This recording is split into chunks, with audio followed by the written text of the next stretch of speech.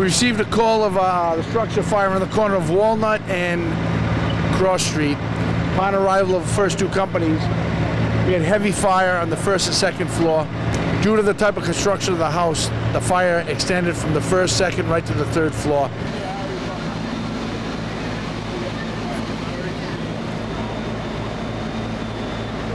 We had uh, firefighters on the third floor. We had to send an aerial ladder to the third floor through the window to get them out because they were going to be cut off by fire. So we got them out right in time and we withdraw all our um, firefighters from the house and we had an exterior attack at the time.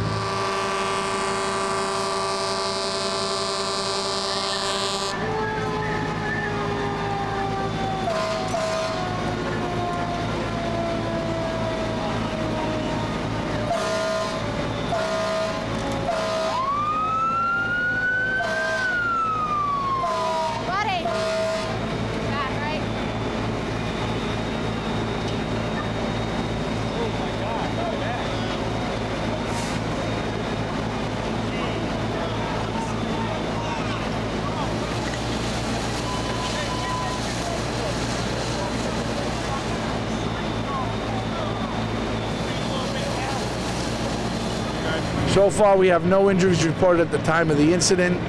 We got balloon frame construction.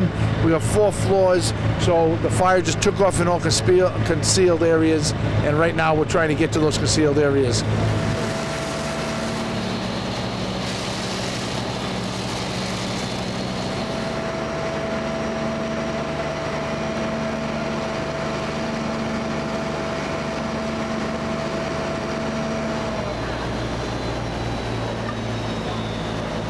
And right now, we cannot send anyone in this house because we've had a partial roof collapse on the third floor portion of this house.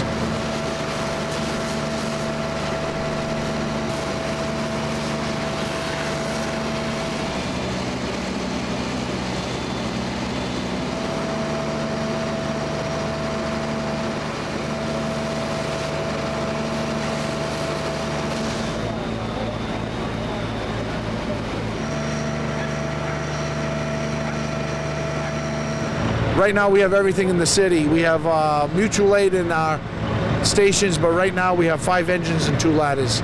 And we've called in extra help, and we've got a uh, sixth engine company on scene, and we're just rotating crews. We've got to get this uh, this concealed fire in these hidden spots. Thank you, sir. Okay, thank you. Thank you, sir.